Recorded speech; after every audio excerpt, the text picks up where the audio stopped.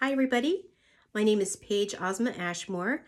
I am the creator of Tarot of the Kingdoms, which was published by Red Feather in 2020. And I'm also the illustrator of a children's book called Ela, written by Anne Sullivan. And our book won the 2022 Gold Winner Award for Nautilus for Best in Children's Books. So, yay for that. And you can check both of those products out on Amazon, or you can go directly to Schiffer Books for the tarot deck, or you can go to Infinite Light Publishing for Ela. And today what I would like to do is I would like to do a card of the week. So that would be starting today from Wednesday until Sunday. The card is from my deck, and this is the card. It is the Ten of Air. Now, if any of you are into tarot, then what you will be aware of is that I switched the suits. So in my deck, swords would equate to fire because I was initiated into the craft. And in our particular tradition, we do reverse those suits because we attribute swords with action and we attribute wands with inspiration and new ideas. And those are qualities that show up in the East direction. So that's why I did that for those of you that are curious. Um, this card is all about renewed hope. So what I wanted to do was I wanted to talk about the ultimate of what a suit means. So the ultimate of the suit attributed to the kingdom of the fairies and wands would be the ultimate of what a wand does. And what a wand does is a wand manifests. So what this particular card is sharing is that if you've had a lot of crap happen this week, and certainly with the news, there is a lot going on.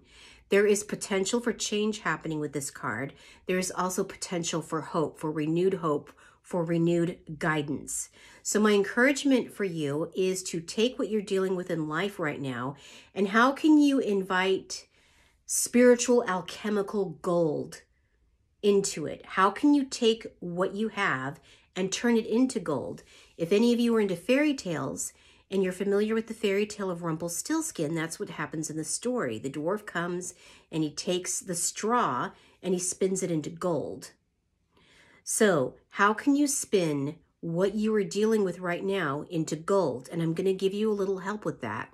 So, I want you to think about what you're dealing with right now, and I want you to visualize that as straw. Visualize it as straw. Like imagine you've got a big pile of straw in front of you and just implant in that straw all of the things you're dealing with. It could be physical things you're dealing with, it could be your fears and worries, whatever that is. And then you are going to act in the role of the dwarf and you're going to spin that into gold. So you're going to transform that situation. Now, you can do this as a visualization. You can visualize it in your head as changing straw to gold, or a more powerful way to do that is through movement. So you could either dance it out, you could do like a spinning motion as you're thinking about changing it into gold and just kind of dance around your room, maybe put your favorite song that just really speaks to you and dance to that for a few minutes and just transform that energy into something positive and something beautiful and something that you can use. So those are two ways of doing it. Now, if you have any mobility issues, let's say that you don't have the ability to dance, then you can do dancing with your eyes. You can blink your eyes or roll your eyes or move your eyes from one way to the other. There are forms of dance throughout the world where they dance with the eyes. The eyes are a significant part of that movement. You could also dance with your mouth, maybe moving your mouth in a way. Or again, you could just visualize it.